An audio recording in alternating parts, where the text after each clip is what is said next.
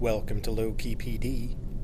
In this tutorial, we're going to explore how to access and update general settings for Google Calendar. So on your calendar home screen, just look for this little settings cog up here. Click on that and click on settings.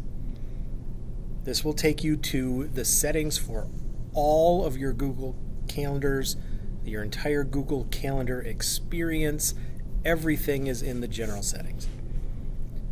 You can update specific settings for particular calendars by accessing the settings for those calendars, uh, but this is going to be everything. All right, so the first thing I want to draw your attention to is updating the language and region for Google Calendar.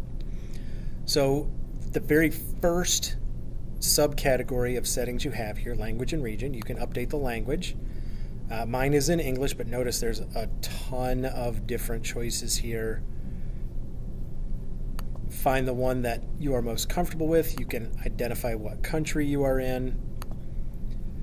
And then set the date format. How do you prefer dates uh, to appear? I have it as month, day, year. You can set it as day, month, year, or year, month, day.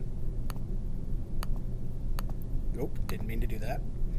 And you can also set the time setting. This is basically 12 hour time versus military time, 24 hour time.